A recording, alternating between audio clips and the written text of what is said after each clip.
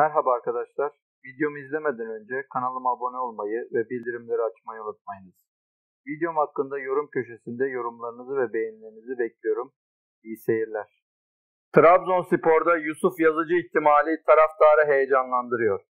Geçtiğimiz sezonu şampiyon olarak tamamlayan Trabzonspor yeni sezon transfer çalışmalarını sürdürüyor. CSK Moskova'da kiralık geçirdiği sezonun ardından bonservisinin bulunduğu Lille geri dönen Yusuf Yazıcı ile ilgili Fransız basını sürpriz bir transfer iddiası ortaya attı.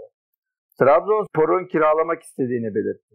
Fransız basınına göre 25 yaşındaki 10 numara eski takımı Trabzonspor ile görüşmelere başladı. Orta sahasını güçlendirmek ve Şampiyonlar Ligi için iddialı bir kadro kurmak isteyen Trabzonspor iddialı bir kadro kurmak istiyor. Bordo Mavillerin Yusuf'u bir yıllığına kiralamak istediği öne sürülüyor. Fransa'ya transfer olduktan sonra da Başkan Ahmet Ağalı ve yöneticilerle sık sık görüşen yazıcının Türkiye'ye dönmeye sıcak baktığı bildirildi. Lig 1 ekibi Lille'den ayrılması beklenen Yusuf'un sözleşmesi 30 Haziran 2024'te son buluyor. Milli futbolcunun güncel piyasa değeri 17 milyon euro olarak gösteriliyor. Trabzonspor'dan Lille 17,5 milyon euro artı Edgar transferi gerçekleşmişti. Moskova'da kiralık olarak oynayan Yusuf, Rusya'dan 12 maçta 8 gol ve 2 asistlik bir katkı sağladı.